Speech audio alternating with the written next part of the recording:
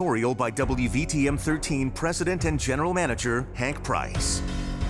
Thank you to everyone who participated in WVTM 13's annual Canathon.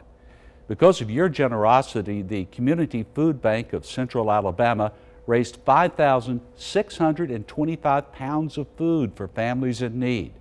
That's almost 5,000 meals. Unfortunately, the Canathon only scratches the surface. In communities throughout Alabama, both urban and rural, there are children and adults who will go to bed hungry tonight. These are people you and I see every day. Some are our neighbors. Many have jobs that simply don't pay enough. All share genuine need. If you'd like to know how to help this holiday season, we've created a page at WVTM13.com of places you can contribute. Thank you for your generosity this week and for your generosity going forward. This has been a WVTM 13 editorial.